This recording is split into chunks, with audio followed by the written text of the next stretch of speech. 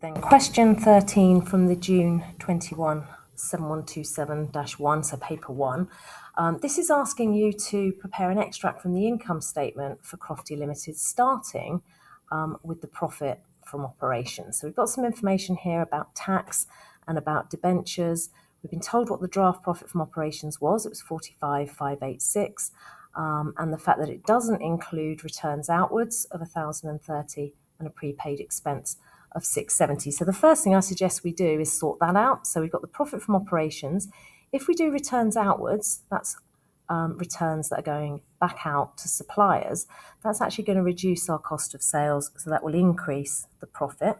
And a prepaid expense will reduce the expense. So that is actually going to increase the profit as well. So let's make a start down here. So profit from operations is going to be 45, 586 plus 1030 plus 670. Okay, so that's going to be 47,286 pounds.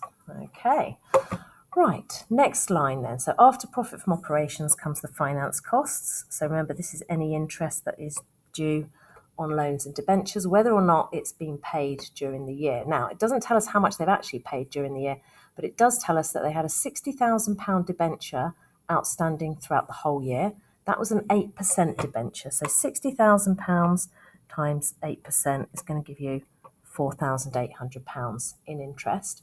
They had a 6% debenture that was £20,000, but that was taken out partway through the year. That was taken out on the 1st of August. So let's work out how many months we owed that for between the 1st of August and the 30th of April. So August, September, October, November, December, January, February, March, April is nine months. So it was outstanding for nine months. So £20,000 times 6%, 6% is £1,200, but times that by 9 over 12 will give you £900. Okay, so the actual amount of finance cost there is going to be the total of these two. It's going to be 900 plus 4,800, which is actually £5,700. That's going to leave us with the profit before tax. So the difference between those two, 7286, is 41,586. Then we can sort out the tax. Now let's see what it tells us about tax. It tells us that the tax paid during the year was 8863. I suggest we do a little T account here. So the balance brought down is going to be the amount we owed at the start of the year, 2,561. The amount that we've paid during the year, 8863, we would have credited the bank and debited the tax account. So 8863 is going in there.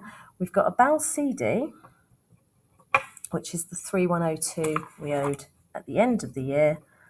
So the missing figure is the tax provision which is going to go into the income statement. So all we've got to do is balance this account off. So that's the figure that's going off to the income statement. So the tax, the estimate of the tax liability for the year was 9,404 and then that's going to leave us with our profit after tax.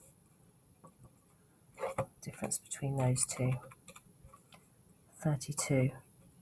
182. So quite straightforward there, but you just need to be on your toes with regard to time apportioning the interest and sorting out the, uh, the tax liability account.